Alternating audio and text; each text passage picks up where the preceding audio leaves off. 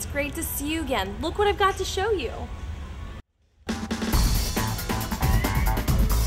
The 2009 T-Max is blurring the boundaries between scooter and motorcycle. It's a super sport automatic fuel injected 500cc engine that is sure to impress. Come in and take it home today.